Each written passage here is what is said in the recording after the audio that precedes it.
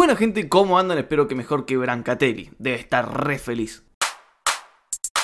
El otro día publiqué un meme en la parte de comunidad que está bastante bueno y pasó que empezaron a llegar comentarios que supongo que no son suscriptores sino gente que le salió la publicación y se repitió bastante esto de que sí, ganan más plata pero el costo de vida es mucho más alto, como si esto anulara que cobramos una miseria acá.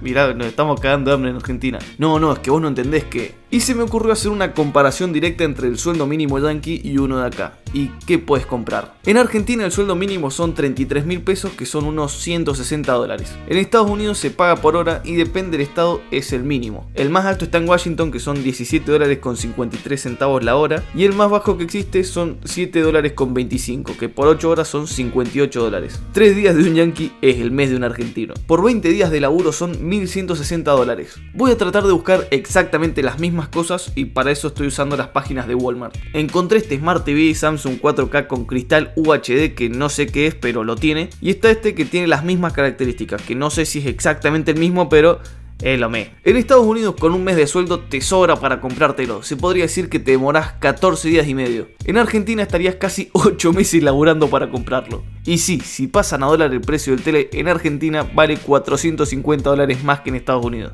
Vamos con una boludez, mayonesa, Hellmans, que pasa algo raro que en Estados Unidos la venden en frasco y no en sobre como acá. Pero bueno, en Argentina tenemos esta de casi medio kilo y vale 229 pesos, por lo que un sueldo mínimo puede comprar 144 mayonesas. En Estados Unidos tenés esta de 30 onzas que son 850 gramos y vale casi 5 dólares, por lo que te puedes comprar 238 de estos potes. Pero para hacerlo más abismal vamos a sacar cuánta mayonesa compras. Mientras que en Argentina compras 68 kilos y medio, en Estados Unidos compras 202 kilos. Por eso que tiene esos problemas de obesidad. He visto a lo largo de la vida que muchos hablan de que el alcohol es carísimo afuera. Vamos para los rugbyers. Un Smirnoff, casi 10 dólares. En Estados Unidos te puedes comprar 116 Smirnoff. En Argentina vale 781 pesos. No solo te están cagando 50 mililitros, sino que te puedes comprar solo 42 Smirnoff. Vamos con otra estupidez, velas de cumpleaños. ¿Por qué? Porque en los dos Walmart hay velas de cumpleaños. Esta con un número. En Argentina vale 131 pesos y te puedes comprar 252 velas. En Estados Unidos vale un dólar, o sea, te puedes comprar 1160 velas. Y vamos a algo mucho más serio, un alquiler. Obviamente depende mucho la ubicación de donde quieras alquilar. No es lo mismo un departamento en Palermo que en Pañal Cagado Formosa. Busqué en Mendoza con dos dormitorios y más o menos valen 30 mil pesos. Algunos un poquito menos y otros bastante más, pero lo dejamos ahí. O sea que si cobras lo mínimo, pagues el alquiler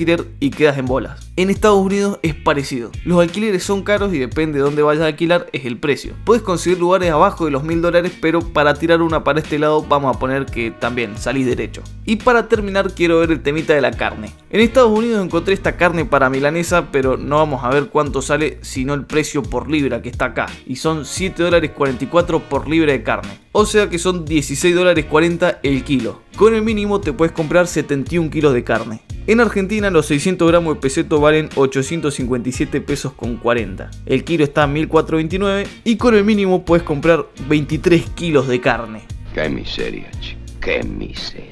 Así que bueno, el costo de vida es más caro, sí, obvio, pero se gana muchísimo más. Y es lo único que podríamos compararnos es en el alquiler. También hay que aclarar que muy poca gente gana lo mínimo, a lo contrario de acá. Y antes de que digan boludeces, allá también hay escuelas y hospitales públicos. Lo que no hay es que estudies licenciatura en viento financiado con la ponenta un nene desnutrido en Chaco. Y todo esto teniendo en cuenta que en Estados Unidos no te van a matar para sacarte las zapatillas y los baldes de pintura son baldes de pintura. Y acá el tacho de basura de una escuela.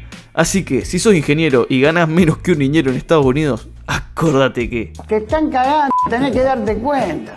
No seas boludo. Chao. Muchísimas gracias a los Patreon, en serio, guacho, me, me ayudan muchísimo. Y bueno, les dejo unos videos por acá. Nos vemos, loco.